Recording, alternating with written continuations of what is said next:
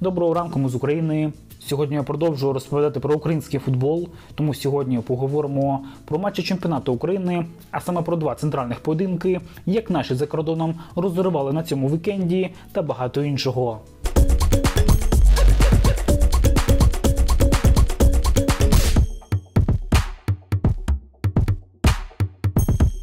Друзі, перед початком відео я хочу звернутися до вас з невеличким проханням, щоб ви не забували ставити лайки та натискати на дзвіночок, щоб не пропускати наступні відео. Починаю з матчу, який відбувся у п'ятницю, де у ковалівця сталася сенсація, бо колос переміг Мінай з рахунком 2-0. Я сподіваюся, ви зрозуміли цей жарт, бо деякі люди у телеграм-каналі в мене ще не розуміли після того, як колос зіграв 8 разів у цьому чемпіонаті у нічию, що для них перемога це взагалі щось новеньке.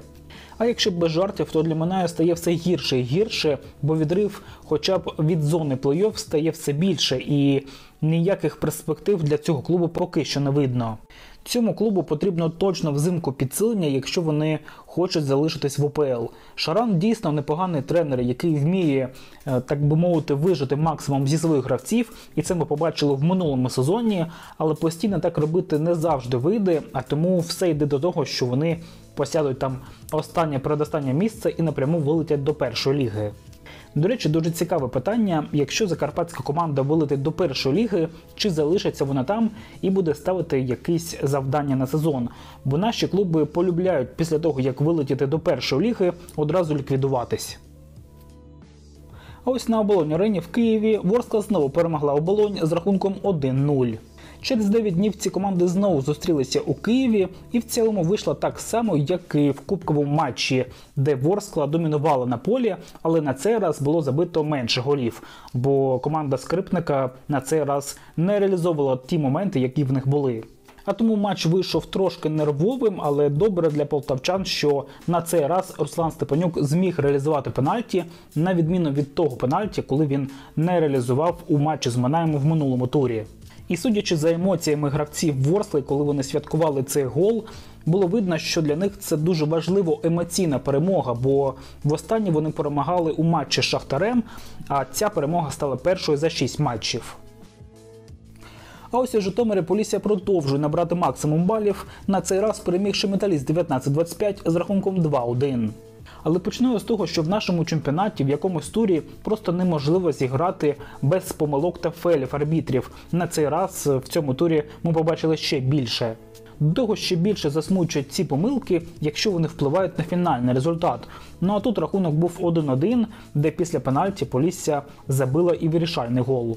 Що стосується самого порушення, після якого дали пенальті, то я би його відніс до такого, як кажуть, що такого порушення не вистачає саме для пенальті. Якщо б це було порушення поза межами карного майданчика, то штрафним можна було б дати.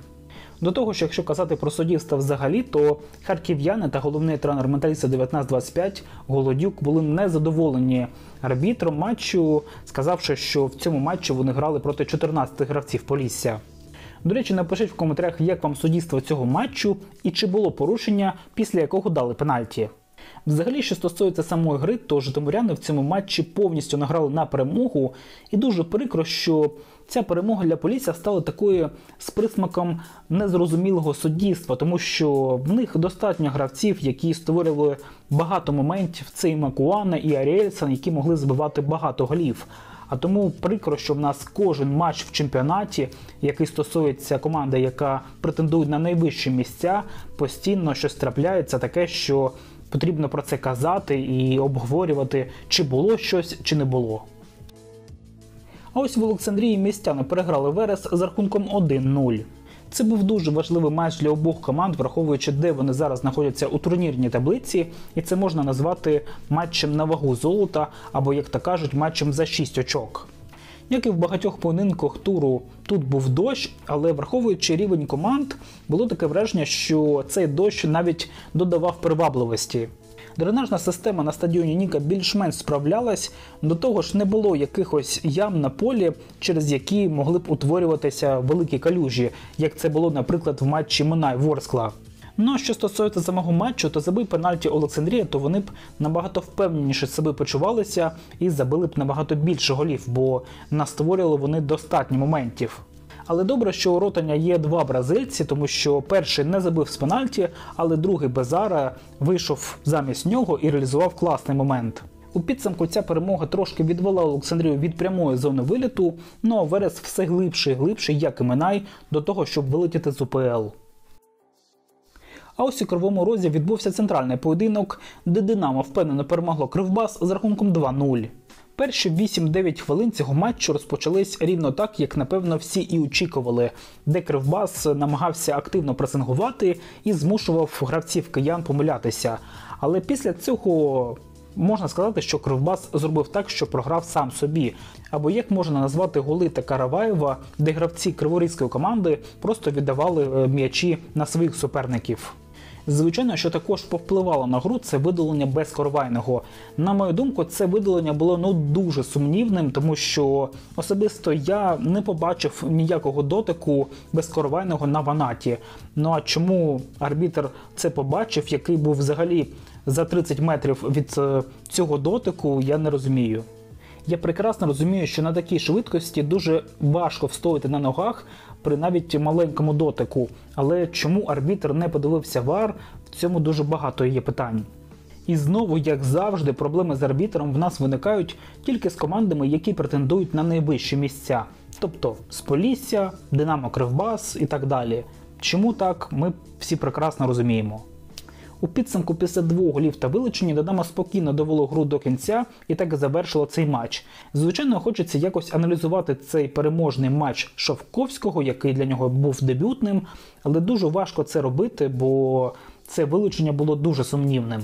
Хоча, звичайно, ця перемога може стати дуже важливим імпульсом для Динамо, тому що ну, гравці зараз думають: ось прийшов новий тренер, він легенда київського Динамо, якого всі прекрасно знають, і одразу в першому матчі перемагають дуже важливого суперника.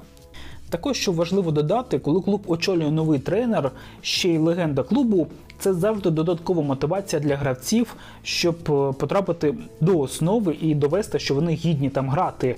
Особливо це стосується тих гравців, які грають е, у більшості з ротації або взагалі з молодіжного складу. І особливо хотілося б відмітити Антона Царенка, який і вийшов у цьому поєдинку. Мені дуже імпонує його талант, швидкість, як він рухається з м'ячем та як віддає передачі. Тому при появі нового тренера я очікую, що в Динамо розкриється точно 2-3 таланти. А ось у Львові зоря приймала ЛНЗ та програла з рахунком 1-2. Почну з того, що цей матч для зорі став третім, коли їх очолює новий тренер. Спочатку був Лалатович, потім Кривенцов, а тепер Юрій Коваль, який раніше був спортивним директором. Але як бачимо, все виходить гірше і гірше. Тому що якщо в минулих матчах ми казали про те, що зорі просто не щастить, тому що вони створюють достатньо моментів, а забивають або взагалі нічого, або один гол, або пропускають просто жахливі голи з двох моментів два гола. Ну в поєдинку проти черкаської команди зоря вже не може так сказати, що їм не щастить. Тому що ЛНЗ настворював стільки моментів, що навіть головний тренер, попри перемогу, напевно, буде незадоволений цією реалізацією. Але те, що робив напад ЛНЗ з захистом зорі, це просто жах. І як ми бачимо, це вже можна назвати матчем за 6 очок, тому що луганська команда вже закріплюється у зоні плей-офф і буде боротися, напевно, за ці місця, тому що з такою грою, попри клас гравців, в них поки що все жахливо. Ось в Одесі вийшов дуже гольовий матч, де Чорноморець програв руху з рахунком 2-3. За вивіскою цей поєдинок був дуже цікавим, тому що обидві команди є сусідами у турнірній таблиці і в перспективі є конкурентами за п'яте єврокубкове місце. Але незважаючи на те, що забивали обидві команди, цей поєдинок можна назвати матчем однієї команди, де переміг талант руху у недосвідченості гравців руху. Бо обидва голи одеситів це повністю на совісті гравців руху. Звичайно, це і можна пробачити, тому що вони ще молоді та зелені, і в них все ще попереду. Хоча, звичайно, чорноморцю у другому матчі поспіль не щастить суддями, тому що у тому моменті пенальті плюс червона картка, я вважаю, потрібно було давати тільки пенальті, тому що Гучик е, ну точно не навмисно грав рукою. Це не той момент, коли Суарес у 2010 році на чемпіонаті світу зіграв рукою, щоб м'яч не потрапив у ворота, де у підсумку Уругвай у післяматчевих серій пенальті виграв, перейшов далі. Пам'ятаєте цей матч? Тому у підсумку маємо дуже важливу перемогу руху у можливій боротьбі за п'яте місце. Ну і в ще одному центральному матчі туру Дніпро 1 здобув вольову перемогу над Шахтарем з рахунком 3-1. І насправді вийшов дуже цікавий матч з тактичного плану. Було цікаво спостерігати за тим, як грають команди Максимова та Пушича, та тим, як вони борються у центрі поля. Я перед цим матчем думав, що в цьому матчі буду вирішувати перший гол. Як то кажуть, е, гра до першого голу, але так не вийшло, тому що Шахтар з Пушичем це поки що недосвідчена команда, яку ще придеться будувати боснійському наставнику.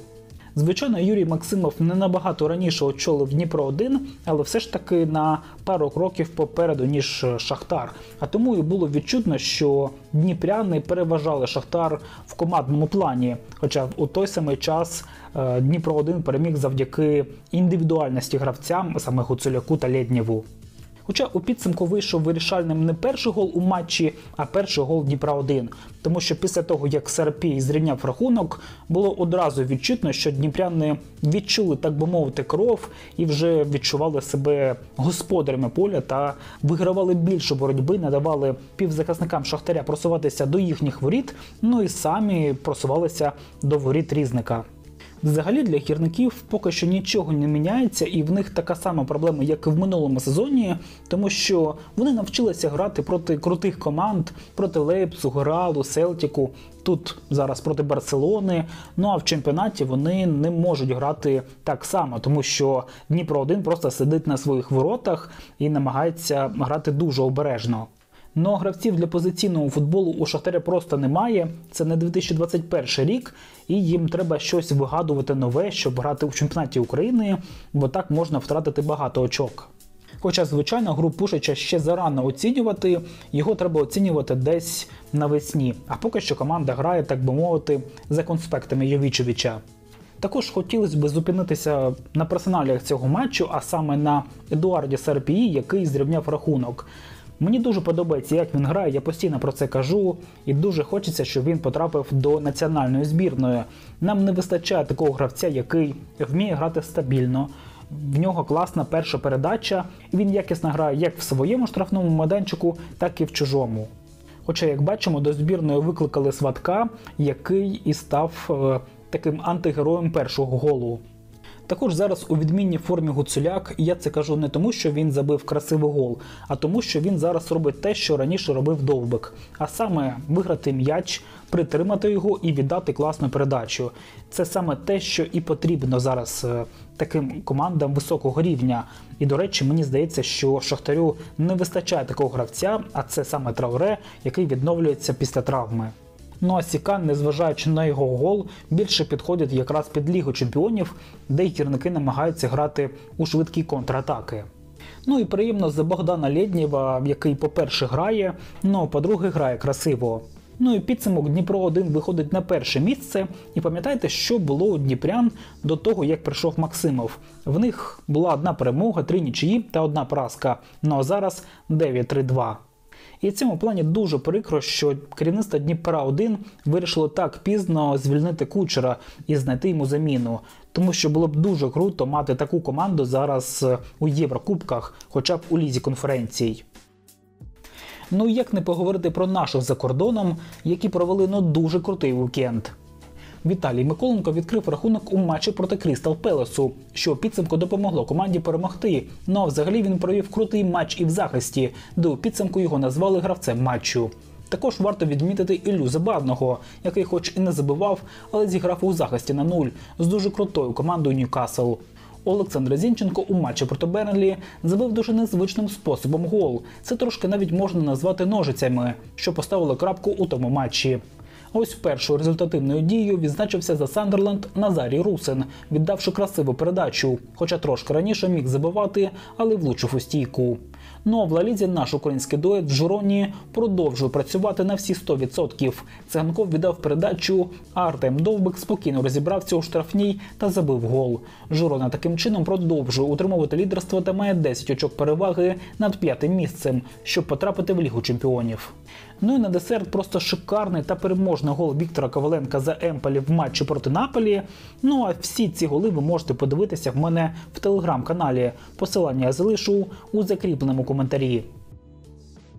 І наостанок, дякую, що дивитесь моє відео. Для мене це дуже важливо. Тому до зустрічі у новому відео. Слава Збройним силам України і слава Україні!